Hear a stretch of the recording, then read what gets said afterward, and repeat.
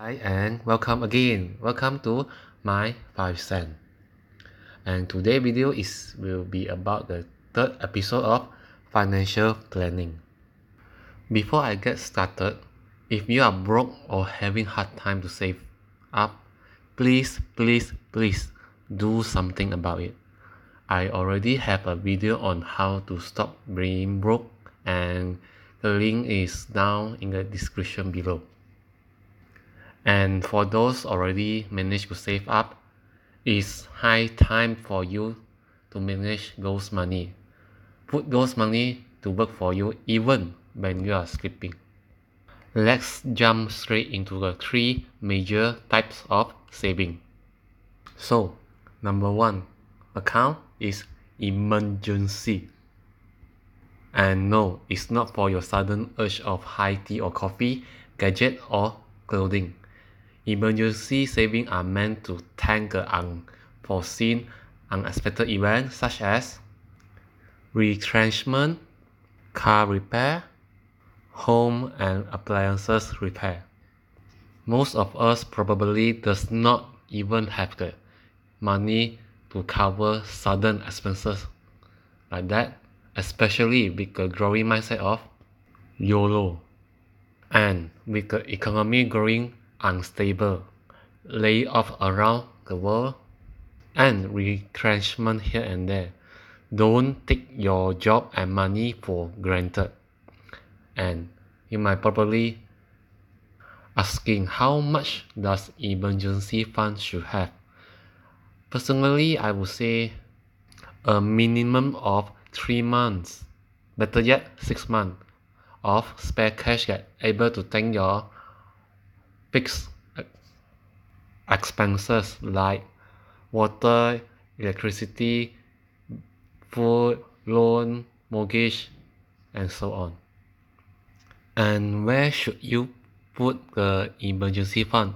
Keep in mind that the fund must be readily, readily and easily accessible so you cannot use it in investment but this does not mean that you can't earn interest from it.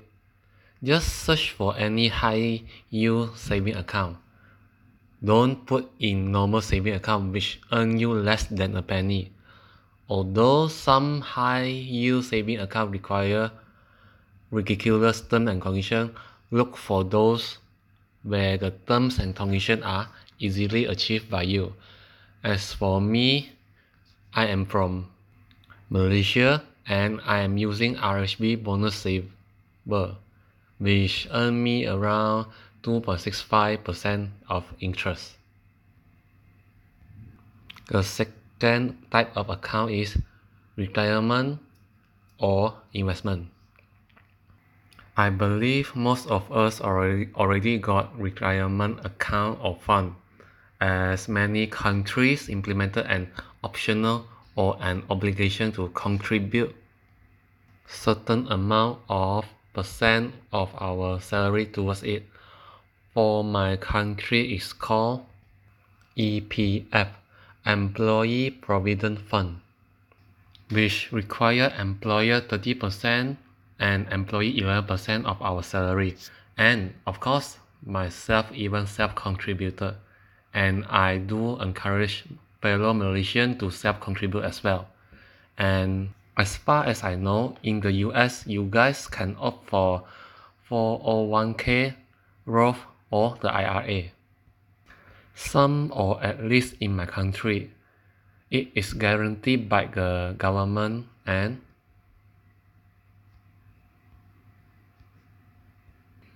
EPF performed well above the inflation rate of Malaysia. So why do I recommend investment saving? One, for us Malaysian, we can only withdraw our EPF saving at the age of 50 or 55 partially or fully with terms and conditions apply or we can opt for full withdrawal at the age of 60 so if we equip with knowledge, it is not impossible to achieve higher rate than what EPF can offer. Number three, personal, also known as the entertainment account. This account will definitely put a smile, a big smile on your face. This account will be exclusively for you, meaning this is for your hobbies and entertainment for you. Once a while, we need to let off the steam. Otherwise, you will get exhausted very fast and eventually fed up real quick. Just reward yourself, pamper yourself once a while. Look into the mirror and say, You did a good job. Road to financial freedom is, it is not easy. It takes times, logical thinking, and remember, investing is forever. Okay guys subscribe and like this video so that youtube algorithm will pick it up. Thank you